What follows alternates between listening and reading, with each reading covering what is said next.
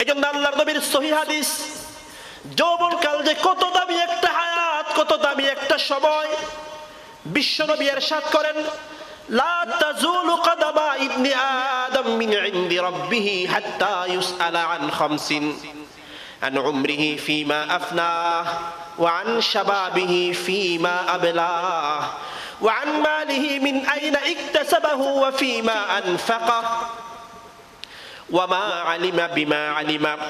আল্লাহর নবী এরশাদ করেন। মুসলমান আমরা সবাই বিশ্বাস করি, আমি আজকে আছি, কালকে থাকব না। এই দুনিয়া কিন্তু চিরস্থায়ী থাকার জায়গা না। দুনিয়াতে আমরা কারা কারা চিরস্থায়ী থাকব, হাত তুলেন দেখি। কারা কারা দুনিয়াতে সব সময় থাকবেন আসেননি কেউ কোন বাপের বেটা আছেন কেউ থাকবে না। তাহলে একদিন আমাদেরকে মরতে হবে, কবরে যেতে হবে, আল্লাহর দরবারে হাসরের ময়দানে দাঁড়াতে হবে। এটার বিশ্বাস সবার অন্তরে আছে নাকি নাই বলেন?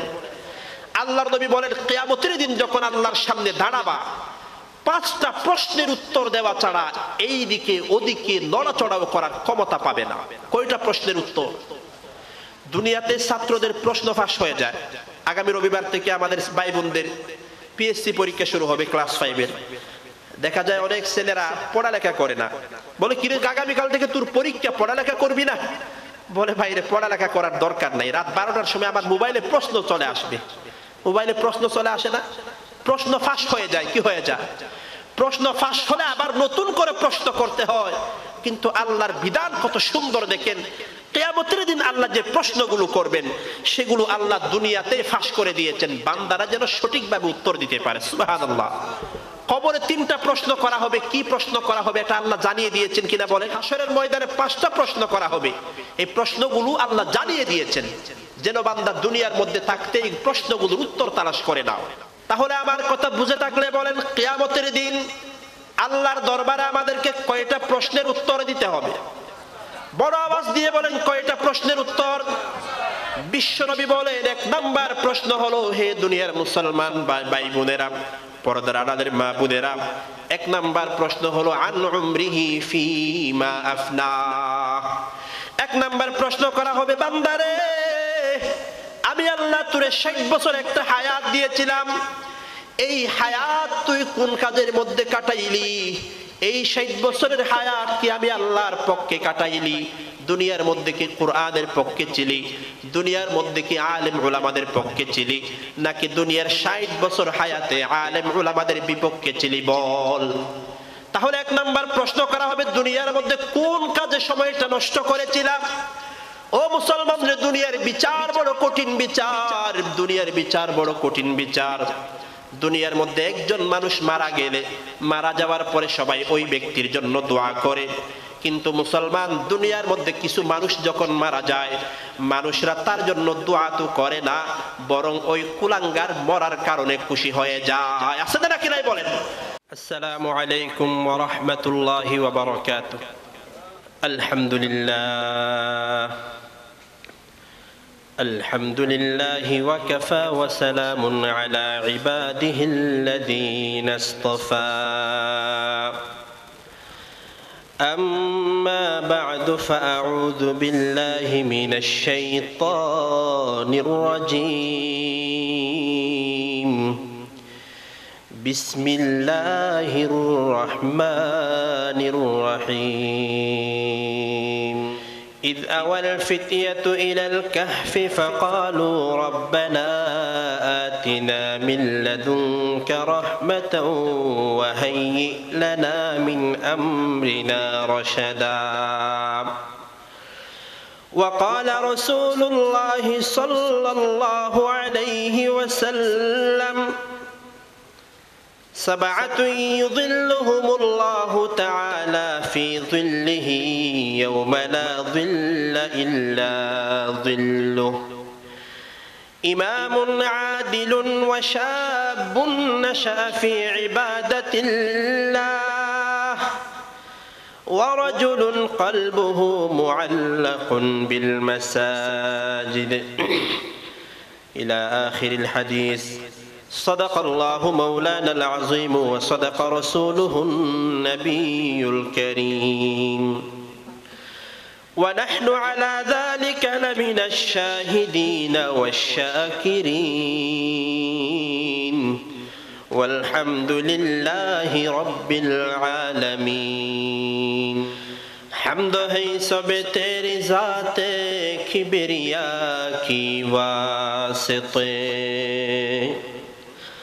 حمد ہے سب تیری ذات کبریا کی واسطے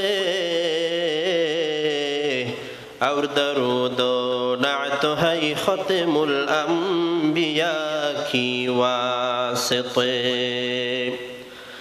پاک کر ظلمات عصیا سے الہی دل میرا کر منور نور عرفا سے الہی دل میرا شرک عصیان و ضلالت سے بچا کر، اے کریم،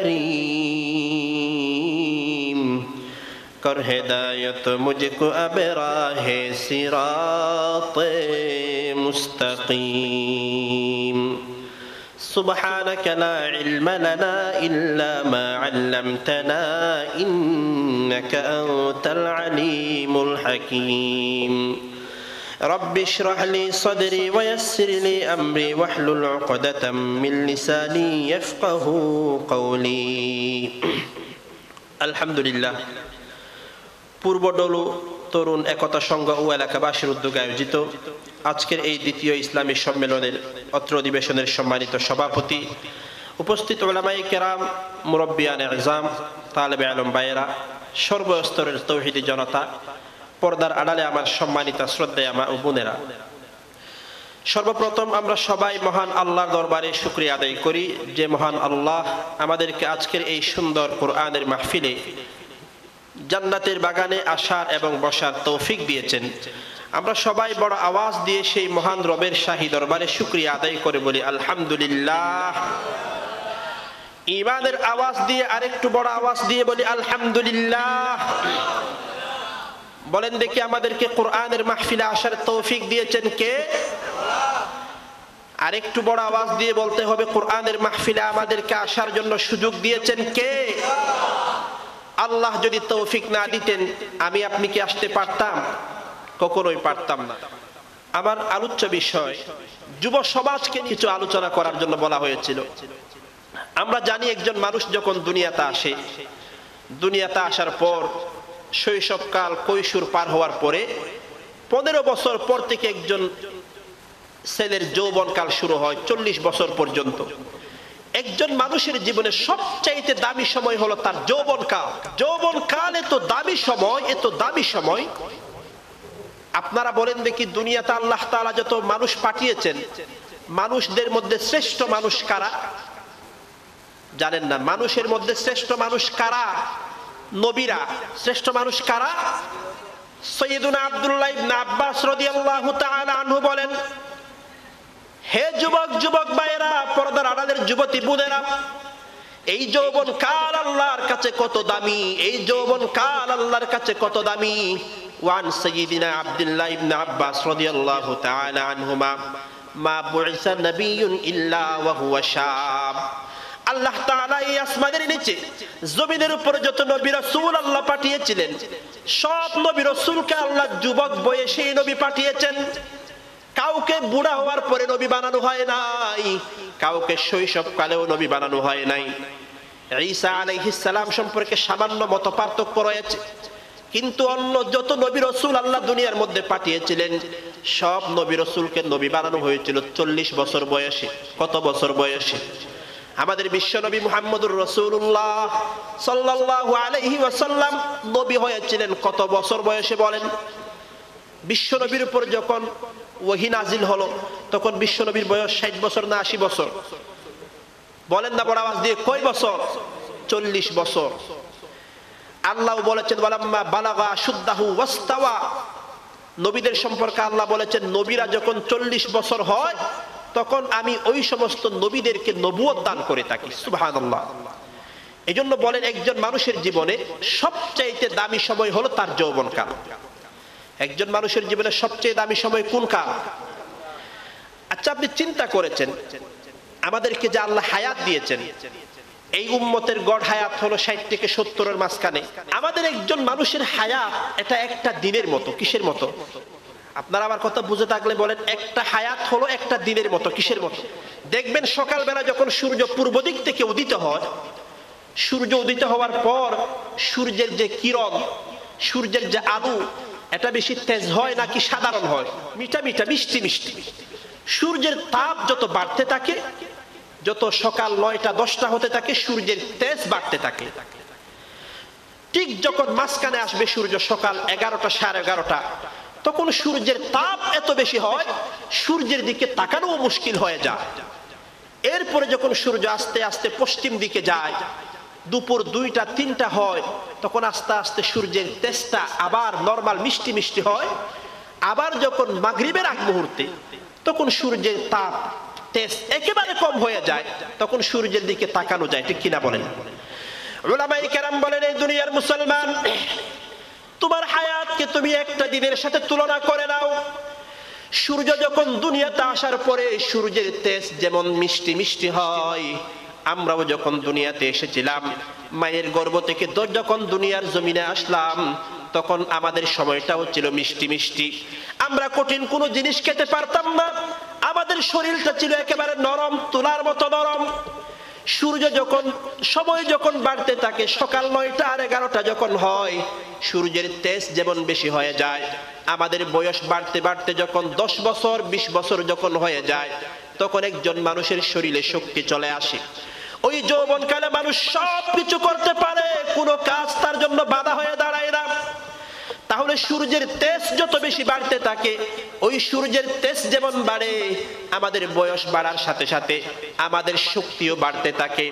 মুসলমানদের সূর্য যখন পশ্চিম দিকে অস্ত যাওয়া শুরু করে দেয়, আমাদের শরীরের শক্তিও বাড়তে বাড়তে চল্লিশ বছর, পঞ্চাশ বছর যখন হয়ে যায় আমাদের শরীরের শক্তি আগের চাইতে কমতে শুরু করে দেয়।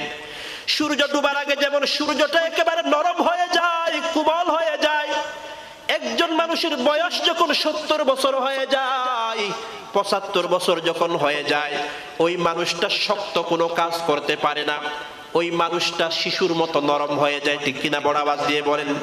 এজন্য মুসলমানরে আমাদের হায়াতটাও হলো মাগরিবের সময় সূর্যটা যেমন হঠাৎ করে ডুবে যায়, আমরাও একদিন ঠিক এমন ভাবে যার হায়াত যতটুকু আছে অত হায়াত যখন পূর্ণ হয়ে যাবে, আমাদের জীবনের সূর্যটাও হঠাৎ করে একদিন ডুবে যাবে। ঠিক কিনা বলেন? মৌতুকা সিন কুল্লো নাসিন শারিবুন, কবর বাইতিন কুল্লো নাসিন দাখিলুন। এজন্য মুসলমান ভাইয়েরা খুব মনোযোগ দিয়ে শুনবেন, বিশেষ করে যুবক যুবক ভাইয়েরা এই যৌবন কাল হতো এত দামি একটা হায়াত এত দামি একটা হায়াত। বিশ্বনবীর হাদিস থেকে জানা যায়, বিশ্বনবী এরশাদ করেন। আপনারা এই হাদিসটা বারবার শুনেছেন বারবার শুনেছেন। বারবার শুনলে আবার শুনেন। কারণ, ওয়াদাক্কির ফাইন্না যিকরা তানফাউল মুমিনিন। পয়গম্বর, আপনি ইমানদারদেরকে বারবার নসিহত করেন, বারবার নসিহত করেন। একটা নসিহত করলে যেটা কাজ হয় না দশ বিশ বার নসিহত করলে পাথরের মতো শক্ত অন্তরটারেও নরম বানায়া দেন কে এই জন্য আল্লাহর নবীর সহি হাদিস যৌবন কাল যে কত দামি একটা হায়াত কত দামি একটা সময় বিশ্ব নবী এরশাদ করেন لا تزول قدم ابن آدم من عند ربه حتى يسأل عن خمس عن عمره فيما أفناه وعن شبابه فيما أبلاه وعن ماله من أين اكتسبه وفيما أنفقه ওয়ামা আলিমা বিমা আলিমা আল্লাহর নবী এরশাদ করেন মুসলমান আমরা সবাই বিশ্বাস করি আমি আজকে আছে কালকে থাকবো না এই দুনিয়া কিন্তু চিরস্থায়ী থাকার জায়গা না দুনিয়াতে আমরা কারা কারা চিরস্থায়ী থাকবো হাত তুলেন দেখি কারা কারা দুনিয়াতে সব সময় থাকবেন আছেন নি কেউ কোন বাপের বেটা আছে কেউ থাকবে না। তাহলে একদিন আমাদেরকে মরতে হবে, কবরে যেতে হবে, আল্লাহর দরবারে হাসরের ময়দানে দাঁড়াতে হবে। এটার বিশ্বাস সবার অন্তরে আছে নাকি নাই বলেন? আল্লাহর নবী বলেন, কেয়ামতের দিন যখন আল্লাহর সামনে দাঁড়াবা, পাঁচটা প্রশ্নের উত্তর দেওয়া ছাড়া এই দিকে ওদিকে নড়াচড়াও করার ক্ষমতা পাবে না। কয়টা প্রশ্নের উত্তর? দুনিয়াতে ছাত্রদের প্রশ্ন ফাঁস হয়ে যায়। আগামী রবিবার থেকে আমাদের ভাই বোনদের পিএসসি পরীক্ষা শুরু হবে ক্লাস ফাইভের। দেখা যায় অনেক ছেলেরা পড়ালেখা করে না। বলে, কিরে, আগামীকাল থেকে তোর পরীক্ষা, পড়ালেখা করবি না? বলে, ভাই রে, পড়ালেখা করার দরকার নাই। রাত বারোটার সময় আমার মোবাইলে প্রশ্ন চলে আসবে। মোবাইলে প্রশ্ন চলে আসে না। প্রশ্ন ফাঁস হয়ে যায়। কি হয়ে যায়? প্রশ্ন ফাঁস হলে আবার নতুন করে প্রশ্ন করতে হয়।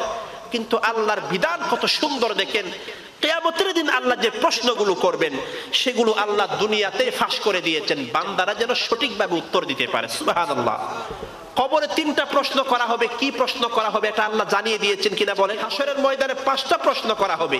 এই প্রশ্নগুলো আল্লাহ জানিয়ে দিয়েছেন। যেন বান্দা দুনিয়ার মধ্যে থাকতে এই প্রশ্নগুলোর উত্তর তালাশ করে নাও। তাহলে আমার কথা বুঝে থাকলে বলেন, কেয়ামতের দিন আল্লাহর দরবারে আমাদেরকে কয়টা প্রশ্নের উত্তর দিতে হবে? বড় আওয়াজ দিয়ে বলেন, কয়টা প্রশ্নের উত্তর? বিশ্বনবী বলেন, এক নাম্বার প্রশ্ন হলো, হে দুনিয়ার মুসলমান ভাই বোনেরা পর্দার আড়ালের মা বোনেরা এক নাম্বার প্রশ্ন হলো, আন উমরিহি ফিমা আফনা? এক নাম্বার প্রশ্ন করা হবে, বান্দারে, আমি আল্লাহ তোরে ষাট বছর একটা হায়াত দিয়েছিলাম। এই হায়াত তুই কোন কাজের মধ্যে কাটাইলি? এই ষাট বছরের হায়াত কি আমি আল্লাহর পক্ষে কাটাইলি? দুনিয়ার মধ্যে কি কোরআনের পক্ষে ছিলি দুনিয়ার মধ্যে কি আলেম ওলামাদের পক্ষে ছিলি নাকি দুনিয়ার ষাট বছর হায়াতে আলেম ওলামাদের বিপক্ষে ছিলি বল। তাহলে এক নাম্বার প্রশ্ন করা হবে, দুনিয়ার মধ্যে কোন কাজে সময়টা নষ্ট করেছিলাম? ও মুসলমানদের দুনিয়ার বিচার বড় কঠিন বিচার, দুনিয়ার বিচার বড় কঠিন বিচার। দুনিয়ার মধ্যে একজন মানুষ মারা গেলে, মারা যাওয়ার পরে সবাই ওই ব্যক্তির জন্য দোয়া করে। কিন্তু মুসলমান দুনিয়ার মধ্যে কিছু মানুষ যখন মারা যায়, মানুষরা তার জন্য দোয়া তো করে না, বরং ওই কুলাঙ্গার মরার কারণে খুশি হয়ে যায়। আছে না নাকি নাই বলেন? গত সপ্তাহে দেখেছেন একজন চট্টগ্রামের একজন এমপি, উনি মারা গেছেন। চট্টগ্রাম আট আসনের এমপি, মাইনুদ্দিন খান বাদল নামে একজন এমপি জাসদের এমপি ছিলেন। উনি এক সময় দুই হাজার সতেরো সনে বলেছিলেন, যখন বাংলাদেশের সুপ্রিম কোর্টের সামনে মূর্তি বসানো হয়েছিল বাংলাদেশের তৌহিদি জনতা সর্বস্তরের মুসলমান ভাই বোনেরা ভাইয়েরা যখন এটার বিরুদ্ধে প্রতিবাদ গড়ে তুলল, তখন ওই এমপি, জাসদের এমপি, উনি একটি অনুষ্ঠানে বলেছিলেন, যেই সমস্ত আলেমরা মূর্তির বিরুদ্ধে আন্দোলন করতেছে, এরা সবাই হলো এক একটা কুত্তার বাচ্চা। না জানি এত বড় ক্ষমতাশালী সেও মরছে গত বৃহস্পতিবারে সম্ভবত, কালকের আগের বৃহস্পতিবারে। তখন ওলামাই কেরাম বলেছিল যেই কুলাঙ্গার আলেম ওলামাদেরকে কুত্তার বাচ্চা বলেছে, বাংলাদেশের কোন আলেম যেন ওই কুলাঙ্গারের জানাজার নামাজ না পড়ায়, ঠিক কিনা বড় আওয়াজ দিয়ে বলেন। আলহামদুলিল্লাহ, বাংলাদেশের কোন আলেম ওই কুলাঙ্গারের জানাজার নামাজ পড়াই নাই। তার জানাজার নামাজ পড়াইছে কে? তার জানাজার নামাজ পড়াইছে বাংলাদেশে যখন রবিউল আউ্বাল মাস আসে, শীতকালে যেমন বাংলাদেশে কিছু মৌসুমি পাখি আসে বিভিন্ন দেশ থেকে কিছু মৌসুমি পাখি আমাদের দেশে আসে। এই রকম রবিউল আউ্বাল মাস যখন আসে, ইঁদুরের গর্ত থেকে ইঁদুরের মতো কিছু আশিকে রসুল বের হয়, ঠিক কিনা বড় আওয়াজ দিয়ে বলেন। এদের নেতৃত্ব দেওয়ার জন্য আসে, পাকিস্তান থেকে একটা লোক আসে। পাকিস্তানে নাকি শুনলাম সেই পেঁয়াজের ব্যবসা করে, কিসের ব্যবসা করে? আমি মনে মনে বললাম, এই বছর এই ব্যবসাটা না করে পেঁয়াজের ব্যবসা করলে আরও বেশি লাভ হতো, ঠিক কিনা বড় আওয়াজ দিয়ে বলেন। আশিকে রসুলের দাম দিয়ে যারা বাংলাদেশে বড় বড় জশ্নে জুলুস ঈদ মিলাদুন নবী করে, এর একটা ছেলে আছে, সাবের শানে কি শাক ওই সাবের শার মুখে দাঁড়িয়েও নাই, কিছুই নাই, শার্ট গায়ে দেয়, মাঝে মধ্যে পাঞ্জাবি গায়ে দেয়, মেয়েদের মতো, ব্লাউজের মতো। ওই মাইনুদ্দিন খান বাদলের জানাজা পড়াইছে, ওই সাবের শাহ পাকিস্তান থেকে আমদানিকৃত। যে মাইনুদ্দিন খান বাদল সারা জীবন পাকিস্তানকে গালি দিল আল্লাহ তালা মরার পরে পাকিস্তানের একটা গজব তার উপর উঠাইয়া দিল। ঠিক কিনা বড় আওয়াজ দিয়ে বলেন। এই জন্য দুনিয়ার মধ্যে এদিক ওদিক উল্টা পাল্টা করবা, মরার পরে এটার বিচার আছে না নাকি বলেন। ইমাম আহমদ ইবনে হাম্বল রহমতুল্লাহ আলাই যখন ওই জমানার বাদশার হাতে নির্যাতিত হয়েছিলেন, ইমাম আহমদ ইবনে হাম্বল রহমতুল্লাহ আলাই খলকে কোরআনের মশালায় অনেক লম্বা ইতিহাস। বাদশাকে উনি বলেছিলেন, হে বাদশাহ আজকে আমার উপর তুমি জুলুম, অত্যাচার করো। আমি সত্য, আমি হক নাকি না হক, এটা আমার জানাজাই প্রমাণ করে দিবে। ইমাম আহমদ ইবনে রহমতুল্লাহ আলাই যখন মৃত্যুবরণ করলেন, উনার জানাজার মধ্যে এত লক্ষ লক্ষ মানুষ অংশগ্রহণ করেছিল। ওনার জানাজার লোক সংখ্যা দেখে ওই জমানার হাজার হাজার খ্রিস্টান নাকি মুসলমান হয়ে গিয়েছিলেন, সুবহানাল্লাহ বলেন। আর এই মাইনুদ্দিন খান বাদলের জানাজার মধ্যে দেখলাম এই ধরনের কয়েকটা উলট পালট মানুষ ছাড়া একজনও সঠিক নির্বেজান ইমানদার নাই। ঠিক কিনা বড় আওয়াজ দিয়ে বলেন। এই জন্য বাইরে এই দুনিয়ার মধ্যে যত উলট পালট করবেন, কবরে তো আপনার জন্য শাস্তির ব্যবস্থা আছে। দুনিয়াতে থাকতে আল্লাহ এটার ব্যবস্থা করে দিবেন। আল্লাহ তারা যেন আমাদেরকে সঠিকভাবে বুঝার তৌফিক দান করেন, বড় করে বলেন, আমিন। এই জন্য হাসরের ময়দানে এক নাম্বার প্রশ্ন করা হবে, তোমার হায়াত তুমি কোন কাজের মধ্যে ব্যয় করেছিলা? দ্বিতীয় নাম্বার প্রশ্ন করা হবে, ওয়ান শাবাবিহি ফিমা আবেলা। ও বান্দা, আমি আল্লাহ তোমাকে একটা যৌবন কাল দিয়েছিলাম। আমি আল্লাহ তোমাকে একটা যৌবন কালের মতো একটা দামি হায়াত দিয়েছিলাম। পনেরো বছর থেকে চল্লিশ বছর হায়াত আমি আল্লাহ তোমাকে একটা যৌবন কাল দিয়েছিলাম। বান্দারে, এই যৌবন কাল তুমি কোন কাজের মধ্যে ব্যয় করেছিলে একটু আমারে বলো না। আল্লাহ তাআলা জিজ্ঞেস করবে রে বান্দা এই যৌবন কালকে টেলিভিশন দেখে দেখে নষ্ট করেছিলাম। এই যৌবন কালকে ক্রিকেট খেলা, ফুটবল খেলা, সিনেমা দেখে দেখে নষ্ট করেছিলাম বান্দা নাকি এই যৌবন কাল কোরআনের মাহফিলে বসে কাটিয়েছিলাম। এই যৌবন কাল মসজিদ মাদ্রাসার মধ্যে কাটিয়েছিলাম। নাকি আজে বাজে কাজ করে এই যৌবন কালকে নষ্ট করেছিলাম।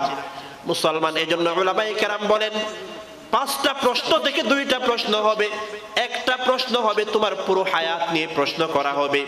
ওই পুরো হায়াতের ভিতরে যৌবন কাল আছে না নাকি নাই বলেন? ষাট বছরের হায়াত নিয়ে যেখানে প্রশ্ন করা হবে, সেখানে আপনার যৌবন কালটা আছে না নাকি নাই? যৌবন কাল টাকার পরেও আল্লাহ দ্বিতীয়বার আবার যৌবন কাল নিয়ে স্পেশালি প্রশ্ন করবেন, কারণ এটার গুরুত্ব আল্লাহর কাছে এত বেশি এত বেশি। আমি যেই হাদিস পড়লাম, সেই হাদিসে বিশ্বনবী এরশাদ করেছেন, কেয়ামতের দিন আল্লাহর ছায়া ছাড়া যেই দিন কোনো ছায়া থাকবে না, সেই দিন কই শ্রেণির মানুষকে আল্লাহর আরশের নিচে ছায়া দিবেন? সাত শ্রেণির মানুষ কই শ্রেণির মানুষ? বিস্তারিত বলব না, তার মধ্যে দুই নাম্বার শ্রেণি হলো ওই যুবক, যেই যুবক নিজের যৌবন কাল আল্লাহর গোলামির মধ্যে কাটিয়েছিল। সুবহানাল্লাহ বলেন। এজন্য মুসলমান যুবক যুবক বা যুবতী বোনদেরকে বলে যায়, আজকে বলে যায়, দ্বিতীয় নম্বর প্রশ্ন করা হবে, তোমার যৌবন কাল তুমি কোন কাজের মধ্যে ব্যয় করেছিলাম মুসলমানরা আজকে আমাদের যুবকদের অবস্থা বড় খারাপ বড় খারাপ। আজকে আমাদের যুবকদের অবস্থা এত খারাপ হয়ে গেল। একটা সমাজের যুবক যখন ভালো হয়ে যায়, একটা এলাকার যুবক শ্রেণি যখন ভালো হয়ে যায় ওই এলাকার মধ্যে কখনো সন্ত্রাস আর দুর্নীতি আর দুই নাম্বারই হতে পারে না, ঠিক কিনা বড় আওয়াজ দিয়ে বলেন। ও মুসলমানের জন্য আমি আপনাদেরকে বলে যাই, যুবকদের হাতে যেই শক্তি আছে, আমাদের বুড়াদের হাতে কিন্তু সেই শক্তি নাই। যুবকদের হাতে যেই ক্ষমতা আছে, আপনারা যারা মুরব্বী আছেন, আপনাদের হাতে কি সেই ক্ষমতা আছে? এক সময় আপনাদের হাতে ছিল। এজন্য একজন বড় মুফাসসির উনি বলেছেন, আল্লাহর নবী যখন দ্বীনের দাওয়াত দেওয়া শুরু করলেন মক্কা শরীফে তখন যারা মুসলমান হয়েছিল, তার মধ্যে শতকরা দশ পার্সেন্ট ছিল আর শিয়ুখ বুড়ারা আর নব্বই পার্সেন্ট যারা নবীর দাওয়াত গ্রহণ করেছিল, তারা ছিল যুবক শ্রেণি, সুবহানাল্লাহ। এই জন্য ভাইরা যুবকদের হাতে বড় শক্তি, বড় পাওয়া এই যে আপনারা দেখতেছেন, গত কয়েকদিন আগে, এক সপ্তাহ আগে, ভারতের হাইকোর্ট থেকে রায় দেওয়া হলো, ভারতের মধ্যে একটা প্রসিদ্ধ মসজিদ আছে, বাবরি মসজিদ। কি মসজিদ? বড় আওয়াজ দিয়ে বলেন, কি মসজিদ? এই বাবরি মসজিদ সম্পর্কে হাইকোর্ট থেকে রায় দেওয়া হলো, এই বাবরি মসজিদটা ভেঙে ফেলা হবে। বাবরি মসজিদের জায়গায় একটি রাম মন্দির, হিন্দুদের জন্য একটা রাম মন্দির প্রতিষ্ঠা করা হবে। নাউজুবিল্লাহ মিন যালিক এটা আপনাদের কাছে ছোট ঘটনা মনে হচ্ছে নাকি বড় ঘটনা মনে হচ্ছে? ও মুসলমান, এই রাম মন্দির, এই ঘটনা বলার উদ্দেশ্য হলো, এই রাম মন্দিরটা তো আজকে ভাঙ্গা হয়নি। আজ থেকে নিয়ে প্রায় তিরিশ বছর আগে ভাঙ্গা হয়েছিল। বিরানব্বই ইংরেজি। রাম মন্দিরটা হলো একটি প্রাচীন, অনেক পুরাতন মসজিদ। প্রায় পনেরো শত আঠাইশ ইংরেজিতে। এখন বর্তমানে কত ইংরেজি চলে? দুই হাজার উনিশ। দুই হাজার কত? উনিশ। আজ থেকে নিয়ে পাঁচশো বছর আগে। পনেরো শত আঠাইশ ইংরেজিতে এই বাবরি মসজিদ প্রতিষ্ঠা করা হয়েছিল ভারতের অযোধ্যা নামক একটা এলাকায়। বাবরি মসজিদ। এই পাঁচশো বছর মসজিদটা ছিল। গত তিরিশ বছর আগে। সনের ছয় ডিসেম্বর বিরানব্বই সনের ছয় ডিসেম্বর, ভারতের কিছু উগ্রপন্থী হিন্দু যারা শিবসেনা ভারতের যারা উগ্রপন্থী হিন্দু আছে, সব হিন্দুরা খারাপ না, কিছু হিন্দু আছে খারাপ, আছে না নাকি নাই বলেন?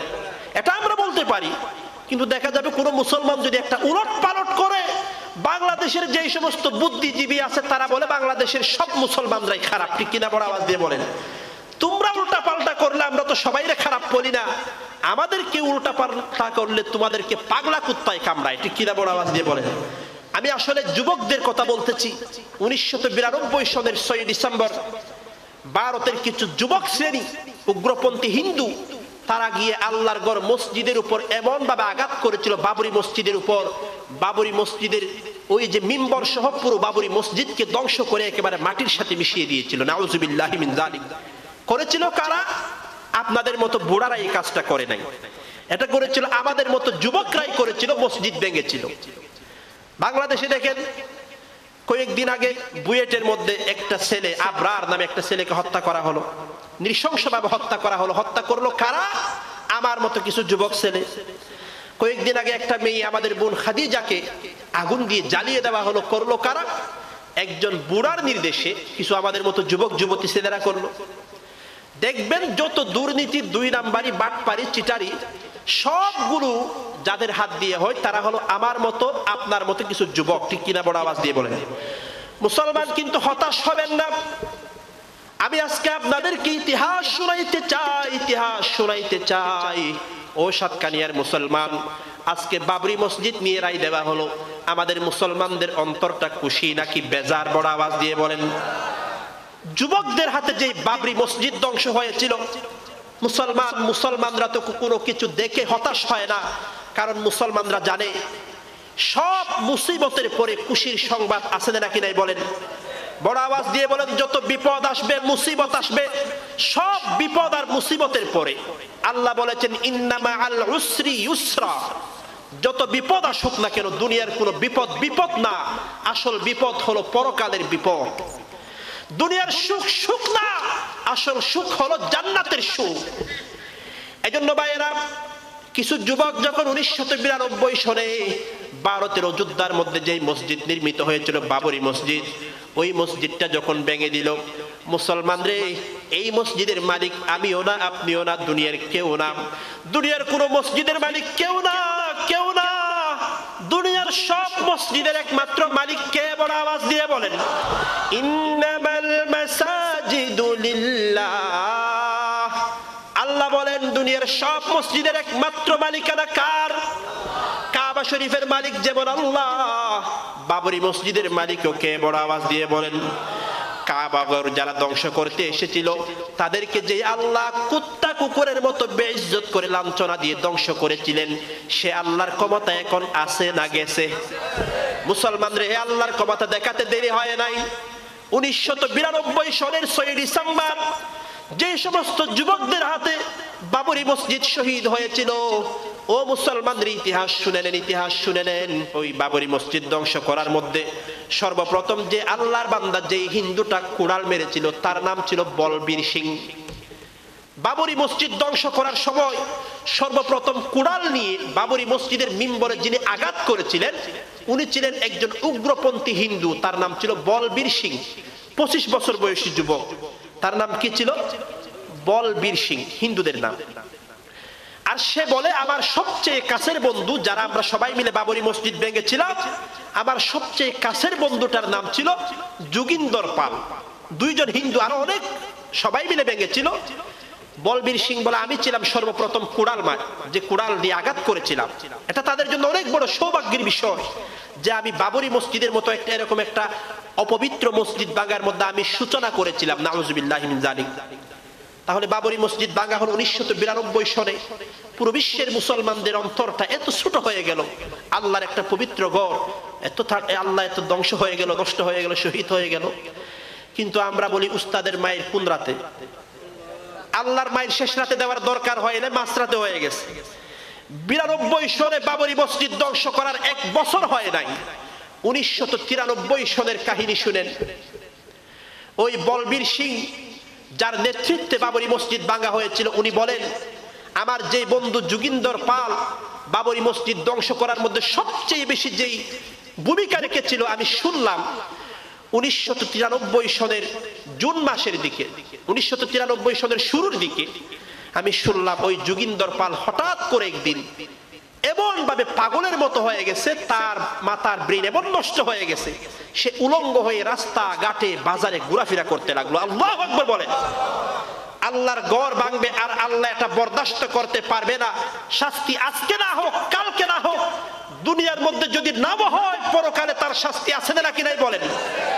মুসলমান বলবীর সিং বলেন, ওই যোগিন্দর পাল যখন পাগলের মতো হয়ে গেল, দুনিয়ার বড় বড় ডাক্তার, দুনিয়ার বড় বড় কবিরাজ দেখানো হলো, কারও কোনো চিকিৎসায় কোনো রোগ ভালো হয় না। কারণ আল্লাহ যেই রোগ দেয়, ওই রোগ ভালো করার ক্ষমতা দুনিয়ার কোনো ডাক্তারের হাতে থাকে না। মুসলমানদের যোগিন্দর পালের বাবা পাগল হয়ে গেলেন, একমাত্র ছেলেটা পাগল হয়ে গেছে। উলঙ্গ হয়ে রাস্তাঘাটে বাজারে ঘোরাফেরা করে। এই ছেলেটার চিকিৎসা তো করানো দরকার। চিকিৎসা কীভাবে করা যায়? মুসলমানদের যোগিন্দর পালের বাবা পার্শ্ববর্তী মসজিদের ইমামের কাছে চলে গেলেন, হুজুর, আমার ছেলেটা বড় বেয়াদবি করে ফেলেছে। বাবরি মসজিদ শহীদ করার মধ্যে অংশ নিয়েছিল। মনে হয় তার কারণে আপনাদের আল্লাহর গজব এসে গেছে। হুজুর, দয়া করে আমার ছেলেটারে ভালো করার ব্যবস্থা করে দেন না। হুজুর ডাক দিয়ে বলে, রে ভাই তোমার ছেলে যেই অপরাধ করেছে, তোমার ছেলে যেই অপরাধ করেছে, আল্লাহর কসম পুরো দুনিয়াও যদি ভেঙ্গে ফেলা হয়, এটা তো তোমার ছেলের অপরাধের কাছে কোনো অপরাধই না। একটা মসজিদ ভাঙা, একটা সাধারণ কথা নাকি মহামারাত্মক কথা। মুসলমানের ইমাম সাহেব বলে, যোগিন্দরের বাবা, আমার তো মনে হয় তোমার ছেলের জীবনেও ভালো হবে না। তবে আমি আশা করি আমাদের মসজিদের মধ্যে প্রত্যেক বছর একজন হুজুর আসেন। ভারতের একজন প্রসিদ্ধ আলেমে দিন মৌলানা কলিম সিদ্দিকী, উনি আগামী মাসে এই মসজিদের মধ্যে আসতে পারেন। দয়া করে তুমি তোমার ছেলের নিয়ে হুজুরের কাছে আসবা। যোগিন্দরের বাবা ডাক দিয়ে বলো, হুজুর, ওই হুজুর যেই দিন আসবে, দয়া করে আপনি আমার একটু জানাইয়া দিবেন। আমি আমার ছেলেকে সুস্থ করতে চাই। মুসলমান কয়েকদিন পরে যখন মৌলানা কলিম সিদ্দিকে যখন ওই মসজিদে গেলেন মসজিদে যাওয়ার পর ওই হুজুর যোগিন্দরের বাবাকে সংবাদ দিল, যোগিন্দরের বাবা ওই হুজুর মসজিদের মধ্যে এসেছে, তুমি এসে যাও। যোগিন্দরের বাবা ছেলের নিয়ে মসজিদের মধ্যে চলে আসলেন। মসজিদে চলে আসার পর মৌলানা কলিম সিদ্দিকী সাহেবের পা জড়ায়া ধরে বলো হুজুর, আমার ছেলে তো বড় অপরাধ করে ফেলেছে। আমার ছেলেটা তো পাগল হয়ে গেছে ব্রেন নষ্ট হয়ে গেছে। হুজুর, দয়া করে আমার ছেলের ভালো করার ব্যবস্থা করে দেন। মৌলানা কলিম সিদ্দিকে ডাক দিয়ে বলে রে ভাই, দুনিয়ার কাউকে সুস্থ করার মালিকও আমি নই, দুনিয়ার কাউকে রোগ দেওয়ার মালিকও নই।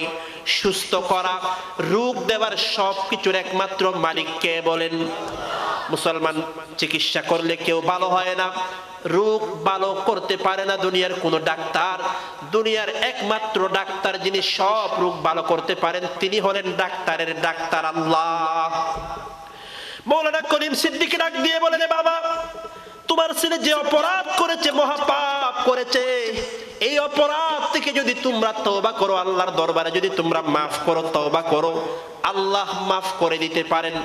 কারণ আল্লাহ বলেছেন, সব গুণা তুমি করার পরে যদি আমি আল্লাহর কাছে হাত দুইটা তুলে একবার, আমি আল্লাহকে যদি আল্লাহ বলে যদি একবার ডাক দাও দুনিয়ার সবগুলা গুণা নিয়ে আসলেও আমি আল্লাহ তোমার গুনার চাইতেও বেশি মাগফিরত নিয়ে তোমার দরবারে হাজির হয়ে যাব। সুবহানাল্লাহ। বান্দারে, তোমার গুনাহ যত বেশি হোক না কেন, ইন্নাল্লাহ ইয়াগফিরুয যুনুবা জামিআ। তোমার গুণা যদি বঙ্গোপসাগরের পানির মতো হয়, আমি আল্লাহর ক্ষমতা ওই গুণাকে মাফ করে দেওয়ার ক্ষমতা আছে নাকি নাই বলেন? বান্দারে নৈরাশ হবি না। আমি আল্লাহকে একবার শুধু আল্লাহ বলে ডাক দিবি। তোর চোখের পানি বের হয়ে নাকের গুড়ায় আসতে দেরি হবে। আমি আল্লাহ তোর গুণা মাফ করতে দেরি হবে না। সুবহানাল্লাহ। এত বড় আল্লাহ। কালিম সিদ্দিকি যখন এই কথা বললেন, ওই আল্লাহর বান্দা যোগিন্দরের বাবা আল্লাহর দরবারে হিন্দু থাকা অবস্থায় মসজিদের মধ্যে সিজদার মধ্যে পড়ে গেলেন। মসজিদের মধ্যে, সিজদার মধ্যে পড়ে ডাক দিয়ে বলেন, আল্লাহ, আমার ছেলে তো না বুঝে মহা পাপ করে ফেলেছে, অপরাধ করে ফেলেছে, বাবরি মসজিদ শহীদ করে ফেলেছে। আল্লাহ, আমি তোমার কাছে তওবা করতেছি। আমার একমাত্র ছেলেটারে আপনি দয়া করে সুস্থ করে দেন। মৌলানা করিম সিদ্দিকী মসজিদের মিম্বরে দাঁড়ায়া, ওই যুগিন্দরের বাবার জন্য, যুগিন্দরের জন্য আল্লাহর দরবারে দোয়া করলেন, আল্লাহ আল্লাহ তারা ওয়াদা করেছে। এই ধরনের গুনাহ জীবনেও করবে না। আল্লাহ তুমি যদি তারে সুস্থ করে দাও, তারা ইমান কবুল করার ওয়াদা করেছে। মুসলমানদের কিতাবের ভিতরে পাওয়া যায়, মৌলানা করিম সিদ্দিকি বলেন, মৌলানা করিম সিদ্দিকী যখন এই দোয়া আল্লাহর দরবারে করতে দেরি হয়, ওই যুগিন্দর যেই ছেলে উলঙ্গ অবস্থায় মসজিদের ভিতরে বাইরে বসা ছিল আল্লাহর বান্দা মৌলানা কলিম সিদ্দিকির দোয়া করতে দেরি হয়। হঠাৎ করে যুগিন্দর নিজের বাবার গায়ে যে চাদর ছিল, ওই চাদরটা নিয়ে তাড়াতাড়ি নিজের লজ্জা স্থানটা ডেকে নিল। পাগল থেকে ভালো হয়ে গেছে দোয়া করতে করতে। মুসলমানরা ওই যুগিন্দর পাগল ছেলেটা ভালো হয়ে গেল। ভালো হওয়ার পর বাবা ছেলে উভয়জন করিম সিদ্দিকির পায়ে পড়ে, হুজুর, এত বড় গুণা করে ফেলেছিলাম। গুণা করার পরে আমার আল্লাহর দরবারে একটু বলতে দেরি হয়েছে। আমার আল্লাহর কবুল করতে দেরি হয় নাই। হুজুর কোন পাগলের ধর্ম নিয়ে বসে আছি, হিন্দু ধর্ম নিয়ে বসে আছি? হুজুর, হিন্দু ধর্ম থেকে তাওবা করলাম। দয়া করে আমারে আপনি পড়ায়া দেন, লা ইলাহা ইল্লাল্লাহু মুহাম্মাদুর রাসূলুল্লাহ সাল্লাল্লাহু আলাইহি ওয়াসাল্লাম। ওই মৌলানা কলিম সিদ্দিকির হাতে ওই যুগিন্দর আর তার বাবা উভয়জন মিলে কালিমায় শাহাদাত পড়ে মুসলমান হয়ে গেলেন, সুবহানাল্লাহ। তখন কলিম সিদ্দিক বাবা ছেলের নাম পাল্টাইয়া দিলেন। বাবার নাম রাখা হলো ওসমান, ছেলের নাম রাখা হলো উমর। বলবীর সিং এর ঘটনা এখনও আসে নাই। তাহলে ওই যুগিন্দর আল্লাহর গড় বাঙার এক বছরের ভিতরে পাগল হয়ে আবার তওবা করার কারণে তারে সুস্থ বানাইয়া দিলেন কে? বলবীর সিং বলেন, যে প্রথম কুড়াল দিয়ে আঘাত করেছিল আমি যখন আমার বাড়িতে গেলাম, বাড়িতে যাবার পর দেখি বাবা আমার ঘর থেকে বের করে দিছে। বলে, তুই এত বড় একটা পবিত্র মসজিদ বাংলি, তুই এত বড় কুলাঙ্গার সন্তান আমার ঘরে থাকতে পারবি না। আমার বাবা এই কথা চিন্তা করতে করতে একদিন দুনিয়া থেকে হার্ট অ্যাটাক করে মারা গেলেন। এরপর থেকে আমার রাতের বেলা ঘুম হয় না। বলবীর সিং বলে, আমার রাতের বেলা ঘুম হয় না। যেদিকে তাকায় শুধু বাবার চেহারাটা দেখি, আর মাঝে মধ্যে ওই বাবরি মসজিদের চেহারাটা আমার সামনে বেসে আসে। আমি যেদিকে যাই পাগলের মতো হয়ে গেলাম, পাগলের মতো হয়ে গেলাম। আমি বাদ খেতে পারি না, বাবার চেহারাটা আমার চোখের সামনে বেসে ওঠে। আমি গোসল করতে পারি না, পানির ভিতরে বাবরি মসজিদের ছবিটা বেসে ওঠে। এমন সময় হতে হতে হতে হতে আমার ওই দুস্থ যুগিন্দর পালের সাথে একদিন আমার সাক্ষাৎ হয়ে গেল। তখন দেখলাম, ওই যুগিন্দর পাল আর যুগিন্দর পাল নাই। ওই যুগিন্দর পাল মুসলমান হয়ে উমর নাম নিয়ে ফেলেছে সুবাহান আমি আমার বন্ধুকে আমার মনের অবস্থা জানালাম। আমার বন্ধু আমার বন্ধু যুগিন্দর পাল, তার জীবনের পুরো ঘটনা যখন আমাকে শোনালো, পাগল হওয়ার ঘটনা আমাকে শোনালো, সুস্থ হওয়ার ঘটনা যখন আমাকে শোনালো, তখন আমার হৃদয়ের ভিতরে একটা তুলপাড় সৃষ্টি হয়ে গেল। আমি লাফাইতে লাগলাম লাফাইতে লাগলাম। এর উমার কেমারে কি ঘটনা তুই শুনাইলি? আমিও তো তোর মতো পাগল হওয়ার অবস্থা হয়ে গেছে। আমিও না জানি কোন দিন পাগল হয়ে যাব। এই বাবরি মসজিদ তো আমার পাগলের মতো করে দিয়েছে। তখন এই ওমর তার বন্ধু যুগিন্দর, পরবর্তীতে ওমর সে পরামর্শ দিয়ে বলে, ভাই, বলবীর সিং, আমি বুঝতে পেরেছি আমরা যে বাবরি মসজিদ ভেঙেছিলাম, দুনিয়ার সবচেয়ে বড় পাপ আমরা করেছিলাম। ওরে বলবীর সিং মনের ভিতর অশান্তি যদি দূর করতে চাও, তুমি তাড়াতাড়ি আমার সাথে ওই হুজুরের কাছে গিয়ে ইসলামটা কবুল করে নাও। বলবীর সিং বলে আমি বড় চিন্তার মধ্যে পড়ে গেলাম।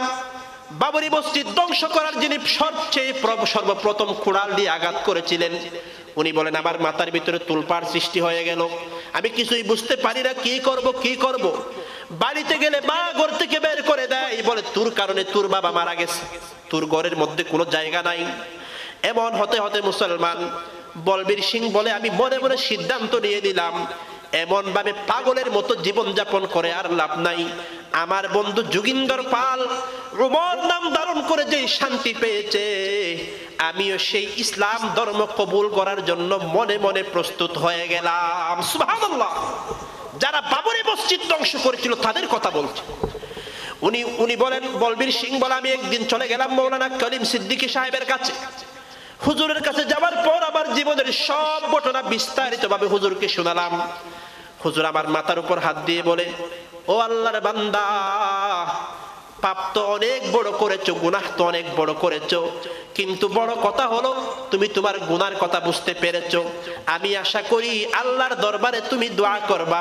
আমার আল্লাহ তোমার দোয়া অবশ্যই কবুল করে নিবেন। সুবহানাল্লাহ।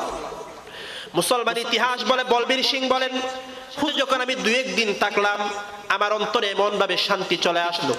আমি তৃতীয় দিন হুজুরকে বললাম, হুজুর, আর দেরি করব না, বিলম্ব করব না। দয়া করে আমাকে আপনি কালিমায়ে শাহাদা পাঠ করে মুসলমান বানিয়ে নেন। সুবহানাল্লাহ। এ মুসলমান যারা বাবরি মসজিদ ভেঙেছিল, যাদের হাত দিয়ে বাবরি মসজিদ শহীদ হয়েছিল, ওই বলবীর সিং, মৌলানা করিম সিদ্দিকির হাতে মুসলমান হয়ে গেলেন। মুসলমান হওয়ার পর ওনার নাম দেওয়া হলো মোহাম্মদ আমের। মোহাম্মদ, উনি দুই বছর আগে বাংলাদেশে এসেছিলেন দুই হাজার সতেরো সনে। ঢাকার মধ্যে বিভিন্ন অনুষ্ঠানে বয়ান করেছিলেন, সেখানে নিজে তিনি এই ঘটনা বর্ণনা করেছেন। এজন্য আমরা ভারতের যেই সমস্ত হিন্দুরা বা বাংলাদেশের যেই সমস্ত মুসলিমরা কয়েকটা মসজিদ বন্ধ করে দিয়ে, কয়েকটা মাদ্রাসা বন্ধ করে দিয়ে ইসলামকে ধ্বংস করার যারা স্বপ্ন দেখতেছে, আমরা তাদেরকে বলি, আল্লাহর কসম মসজিদ, মাদ্রাসা সবগুলো যদি ধ্বংস করে দেওয়া হয় তবু আল্লাহর জমিন থেকে আল্লাহর দিনকে ধ্বংস করা সম্ভব হবে না, সম্ভব হবে না। মুসলমান এই আল্লাহর দিনকে ধ্বংস করা কখনোই সম্ভব হবে? কি বলেন আপনারা? কারণ আল্লাহর দিনকে এই বাতিকে জ্বালিয়েছেন কে বড় আওয়াজ দিয়ে বলেন? আল্লাহ যেই বাতিরে জ্বালায়, সেই বাতিরে যদি কেউ নিবাইতে চায়, নিবাবে দূরের কথা, বরং যে জ্বালাবে তার মুখটাও পড়ে যাবে। ঠিক কিনা বড় আওয়াজ দিয়ে বলেন? মোহাম্মদ আমের বলবীর সিং যিনি বাবরি মসজিদ ভেঙেছিলেন তিনি বলেন, আমি আর আমার বন্ধু ওমর অর্থাৎ মোহাম্মদ আমের আর মোহাম্মদ ওমর, আমরা উভয়জন মিলে ওয়াদা করলাম, যেই পাপটা আমরা করেছিলাম বাবরি মসজিদকে শহীদ করে, এই পাপের একটা কফারা দিতে হবে। কি কফারা দেব? তখন আমি আর আমার বন্ধু মিলে সিদ্ধান্ত নিলাম। আমি সিদ্ধান্ত নিলাম ভারতবর্ষের যে মসজিদগুলো অনাবাদী মসজিদ, যেগুলোতে এখন নামাজ হচ্ছে না, আমরা সিদ্ধান্ত নিলাম অনাবাদী মসজিদগুলোকে আমরা আবাদ করব। আর আমার বন্ধু মোহাম্মদ ওমর সে সিদ্ধান্ত নিল আমি ভারতবর্ষের জমিনে নতুন নতুন মসজিদ নির্মাণ করে সেখানে মুসল্লিদের নামাজ পড়ার ব্যবস্থা করে দেব সুবাহ মোহাম্মদ আমের আর মোহাম্মদ ওমর, তারা বলেন, আমরা তিন বছর সময়ের ভিতর। কয় বছর সময়? তিন বছর সময়ের ভিতর আমি মোহাম্মদ আমের সতেরোটি অনাবাদী মসজিদকে আবাদ করে মুসল্লিদের নামাজ পড়ার ব্যবস্থা করে দিয়েছি সুবাহ আর আমার বন্ধু মোহাম্মদ ওমর সে তিন বছরের ভিতর নতুন নতুন বিশটা মসজিদ নতুন ভাবে নির্মাণ করেছে সুবাহ এবং তারা বলেন, যেহেতু বাবরি মসজিদকে আমরা শহীদ করেছিলাম ছয় ডিসেম্বর এই জন্য আমরা সিদ্ধান্ত নিয়েছি প্রত্যেক বছর যখন ছয় ডিসেম্বর আসবে, ওই গুনার কফারা দেওয়ার জন্য প্রত্যেক বছর ছয় ডিসেম্বর আমরা একটা একটা নতুন মসজিদ আল্লাহর জমিনে আবাদ করব সুবাহ এবং উভয়জন বলেছেন, আমরা শপথ নিয়েছি, আল্লাহর সাথে ওয়াদাবদ্ধ হয়েছি, আল্লাহ তুমি যদি আমাদের হায়াতকে বাড়িয়ে দাও, আমরা মৃত্যুর আগে কমপক্ষে ভারতবর্ষের জমিনে একশোটি নতুন মসজিদ নির্মাণ করে বাবরি মসজিদকে শহীদ করার কফারা দেব। সুবাহ বলেন। এই জন্য যারা মনে করেছে কয়েকজন মুসলমানকে ধ্বংস করলে ইসলাম ধ্বংস হবে, কয়েকটা মসজিদকে ধ্বংস করলে ইসলাম ধ্বংস হবে, যারা মনে করেছ, আল্লাহর কসম ইসলাম জিন্দা হও তাহাই হারকার বালাকে বাপ মুসলমানদের উপর যত জুলুম, নির্যাতন আসে, মুসলমানদের ইসলাম ধ্বংস হয় না, বরং ইসলাম আগের চাইতেও বেশি শক্তিশালী হয়। ঠিক কিনা বড় আওয়াজ দিয়ে বলেন? ও মুসলমান, বুলার মধ্যে আমার পাঁচ, ছয় জন ভাই নবীর ভালোবাসা প্রকাশ করতে গিয়ে শহীদ হয়ে গেল। এটার কারণে ইসলাম ধ্বংস হয় নাই, বরং এটার কারণে আল্লাহ নতুন নতুন লক্ষ লক্ষ মুসলমানের তৈ অন্তরে, আমার মতো, আপনার মতো দুর্বল মুসলমানের অন্তরে নবীর ভালোবাসা জাগ্রত করে দিবেন। ঠিক কিনা বড় আওয়াজ দিয়ে বলেন? এজন্য ভাইরা আমি এটাই বলতে চাইলাম, এই যুবকরাই হলো সমাজের সবচাইতে বড় শক্তি। ওই যুবক মোহাম্মদ আমের আর মোহাম্মদ ওমর মিলে আমাদের সময়ের দুইজন যুবক, তারা ওয়াদা করেছিল, গুনাহ করেছিলাম গুনার কফারা দেব, নতুন নতুন মসজিদ নির্মাণ করতেছি। আর আমরা বাংলাদেশের যুবক যুবক বাইরে আছি নিজেদেরকে নিয়ে। এমন এমন ফ্যাশনের মধ্যে আমরা জড়িত হয়ে গেছি। যুবক ভাইদের চেহারার দিকে তাকাইলে মনে হয় এটা কোনো মানুষের চেহারা না, এটা মনে হয় বঙ্গোপসাগর। যুবক ভাইদের চেহারার দিকে তাকাইছেননি, দাড়ির দিকে তাকাইলে মনে হয় ফুটবল খেলার মাঠ, বিমানের মাঠ। আমার আগে হুজুর বলেছে না, আল্লাহর সাথে যুদ্ধ করে। আল্লাহ বলে তুই দাড়ি দেবো। সে বলে, আল্লাহ, তুই কেমনে দিস আমি দেখব? প্রতিদিন শেভ করে। দাড়ির কথা তো হুজুর বলছে, এটা বলার দরকার নেই। মাথার দিকে তাকাইলে কি মনে হয়? যুবক ভাই অনেকে আছে, এখানেও আছে। আমি আপনাদেরকে বলছি না, যারা এরকম করে তাদেরকে বলতেছি। এরকম অনেক যুবক ভাইয়ের আছে, তাদের মাথার দিকে তাকাইলে মনে হয়, দশ বছর আগে আমাদের সমাজের নিয়ম ছিল, কোনো বেটা যখন চুরি করতে গিয়ে ধরা পড়ে, তখন কি করে? মাথার মধ্যে অর্ধেক চুল চুল, মাথার দিকে অর্ধেক চুল মুন্ডন করে আর অর্ধেক রেখে দেয়। একটা প্রমাণ হলো সে চুরি করছে। দশ বছর আগে যেটা সাজা ছিল, শাস্তি ছিল, আর আজকে আমাদের যুবক ভাইয়েরা সেলুনের মধ্যে গিয়ে দুইশো টাকা দিয়ে এমন ভাবে চুল কেটে নিয়ে আসে। আসে না নাকি নাই বলেন? বলে, এটা ফ্যাশন হয়ে গেছে। আল্লাহর নবী বলেন, এটা হলো ফ্যাশন না, এটা হলো কেয়ামতের আলামত।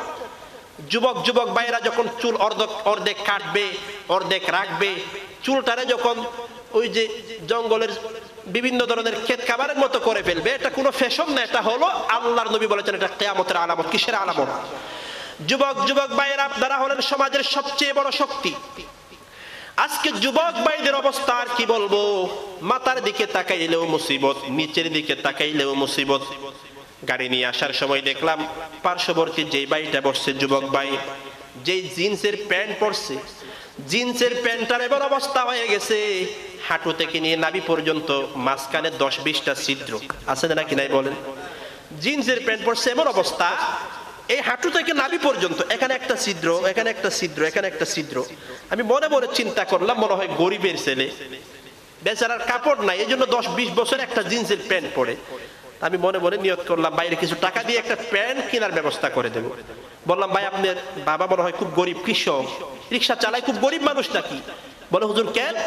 আপনার প্যান্টের অবস্থা দেখলে তো মনে হয় আপনার পেটের অবস্থা। পকেটের অবস্থাও এরকম মনে হয়, কিছুই নাই। অনেক সময় দেখবেন, যখন পকেট মারে, আপনার পকেট মারে, তখন আপনি পকেটের মধ্যে হাত দিবেন, তলা আর খুঁজে পাবেন না। তলাটা নিয়ে গেছে কে? পকেট মারে। আপনার পকেটের অবস্থা কি? এমন পকেটে কোনো টাকা টুকা নাই? বলে, হুজুর কেন বলে, আপনার প্যানের এই অবস্থা কেন? মাঝখানে এখানে একটা ছিদ্র, এখানে একটা ছিদ্র, এত সেরা প্যান একটা পড়ছেন কেন বলে, হুজুর, আপনারা আছেন তো আসমানের উপরে আর জমিনের নিচের বিষয় নিয়ে। জন্নত জাহান্নামের কথা, কবরের আজাবের কথা। মাঝখানে কি চলে? এগুলো নিয়ে আপনাদের কোনো দান্দা নাই। আপনি তো জানেন না হুজুর, এটা হলো বর্তমানের ফ্যাশন যে জিন্সের প্যান্টের মধ্যে যত ছিদ্র থাকবে, এটা তত বেশি বড় ফ্যাশন একটু নাউজুবিল্লাহ বলবেন না? আমি বললাম, রে ভাই, তোমার ফ্যাশন নিয়ে তুমি থাকো। এই যে তুমি একটা প্যান্ট পরছো, যেটার মাঝখানে এত ছিদ্র, এই যে সতরটা দেখা যাচ্ছে। বলেন দেখি, সতর দেখলে বড় বড় কয়টা স্বভাব হবে, নাকি মারাত্মক কবিরা গোনা হবে? আল্লাহ নবী এরশাদ করেছেন, নামাজ পড়াটা যেই রকমের ফরজ একজন মুসলমানের জন্য তার সতর ডেকে রাখাটাও সেই রকমের ফরজ। আজকে যে আপনি রাস্তায় বের হওয়ার পর আপনার প্যান্টের মধ্যে এতগুলা ছিদ্র, ওই ছিদ্র দিয়ে যে আমি আপনার সতরটা দেখি, তুই নিজেও কবিরা গুণা করলি, আমারেও কবিরা গুণা করাইলি, ঠিক কিনা বড় আওয়াজ দিয়ে বলেন। ও যুবক, যুবতী ভাইয়েরা যুবতী বোনদের কথা আর কি বলব? এখন মার্কেটে গেলে দেখা যায় যুবতী বোনদের জন্য আমি একটা কাপড় কিনবো। মানে যে কাপড় ফ্রক কিনেন, যা কিনবেন কিনেন, আপনি পুরো ড্রেস একটাও পাবেন না। দেখবেন পুরুষদের জন্য যে শার্ট সেলাই করে, এটা একেবারে হাত লম্বা, প্যান্ট একেবারে এইদিকে চুলগিরা পর্যন্ত। আর মেয়েদের জন্য যে কাপড় সেলাই করে, এটা হাতের এতটুকু পর্যন্ত আসে না, কোনোই পর্যন্ত আসে না। এটা সব উলঙ্গ। বলেন দেখি একজন মহিলার জন্য, এই হাতের এই জায়গাটা সতর কিনে বড় আওয়াজ দিয়ে বলেন।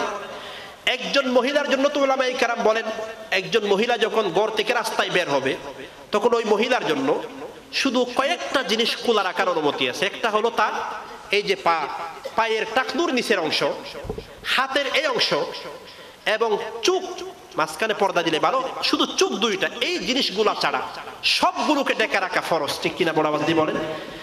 সবগুলোকে ডেকে রাখা ফরস এখন আমাদের মা বোনেরা যে কাপড় গায়ে দিয়ে বের হয়, আল্লাহ আকবর, কতজন মা বোন পর্দা না করার কারণে নিজেরাও গুনাহগার হচ্ছে, আমাদেরকেও গুনাহ করাচ্ছে। এই পর্দা না করার কারণে কত গাড়ি অ্যাক্সিডেন্ট হচ্ছে। বলো, হুজুর, কেমনে গাড়ি অ্যাক্সিডেন্ট হয়? গত দেড় বছর আগে মনে হয় মৈমন সিংহে একটা গাড়ি অ্যাক্সিডেন্ট হয়েছিল। পরে তদন্ত করে দেখা গেল, কেন গাড়ি অ্যাক্সিডেন্ট হলো? ওই ড্রাইভার বেটা গাড়ি চালায়। দেখবেন গাড়িতে একটা আয়না আছে, যেটা দিয়ে পিছনের যাত্রীদের দেখা যায়। দেখা যায় না? ওর গাড়ির ড্রাইভারের তো তাকানোর কথা সামনের দিকে। গাড়ির ড্রাইভারের পিছনে বসছে একেবারে একটা আঠারো, উনিশ বছরের যুবতী মেয়ে। এমন সুন্দর করে সাজছে যে সবাই তার দিকে তাকায়া থাকে। এখন ড্রাইভার বেচারা, সেও তো মানুষ, সে তার ফেরস্তা না। তার চেহারা এখন সামনে রাস্তায় যায় না, বারবার কোথায় চলে যায়? বারবার আয়নার মধ্যে চলে যায়, কোথায় চলে যায়? ওই আয়নার মধ্যে তার চেহারা, তার চোখ যেতে যেতে গাড়ি সামনে চলে আসছে অ্যাক্সিডেন্ট হয়ে গেছে। এই ধরনের না নাকি নাই বলেন? ও মুসলমান ভাইরা এজন্য আজকে এমন অবস্থা হয়ে গেছে আমাদের মা বোনদের, যুবক যুবতীদেরকে, ইহুদি খ্রিস্টানদের পাল্লায় ফেলে ধ্বংস করার জন্য ষড়যন্ত্র পৃথিবীতে আছে না নাকি নাই বড় আওয়াজ দিয়ে বলেন। এজন্য মুসলমান যুবক যুবতী ভাই বোনেরা আজকে আমরা যুবক যুবতী ভাই বোনেরা নিজেদের আদর্শ বানিয়ে নিয়েছি, বাংলাদেশের নায়ক নায়িকাদেরকে আদর্শ বানিয়ে নিয়েছি। আর্জেন্টিনা, ব্রাজিলের ফুটবলারদেরকে নিজেদের আদর্শ মডেল বানিয়ে নিয়েছি। ওরে মুসলমান, এরা তো তোমাদের আদর্শ না। মুসলমানদের ভারতের নায়ক নায়িকারা আমাদের আদর্শ না।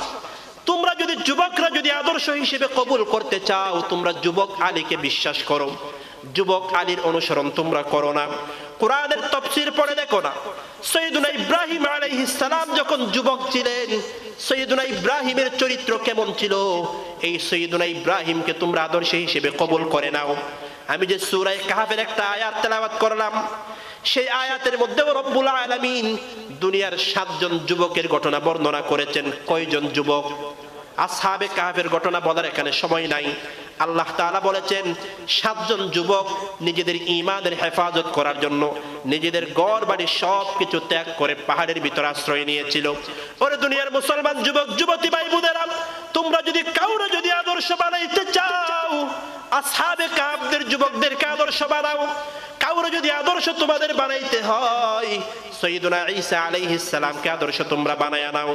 তোমাদের যদি কাউকে যদি আদর্শ বানাইতে হয়, মুহাম্মদুর রাসূলুল্লাহ সাল্লাল্লাহু আলাইহি ওয়াসাল্লাম, যুবক বয়সে কি করেছিলেন সেগুলোর তোমরা আদর্শ বানায়া নাও। আল্লাহর কসম, ব্রাজিলের প্লেয়ার, আর্জেন্টিনার প্লেয়ার, এরা আমার, আপনার কোনোদিন আদর্শ হতে পারে না। ঠিক না বলে বরং আল্লাহর রসুল তো বলেছেন, মান তাশাব্বাহা বিকওমিন ফাহুয়া মিনহুম। আজকে যেই নেতার আদর্শ তুমি গ্রহণ করেছ, সেদিন দেখলাম এক যুবকের কানের মধ্যে কানের দুল। যুবকরা কানের মধ্যে দুল পড়ে আছে না নাকি নাই বলেন। আরেকজন যুবকের হাতে দেখলাম চুড়ি। মেয়েরা যে চুড়ি পরে, এই চুড়ি হাতের মধ্যে দিচ্ছে আমি তারে বললাম, ভাই, আল্লাহ তোমারে পুরুষ বানাইছে। তুমি কি সন্তুষ্ট না? আল্লাহ যে তোমারে পুরুষ বানাইছে জন্য কি তুমি সন্তুষ্ট খুশি না? বলো, হুজুর, কেন? এই যে কাদের মধ্যে দুল দিলা, হাতের মধ্যে চুড়ি দিলা, এটা তো কাদের আলামত? এটা কারা দেয়?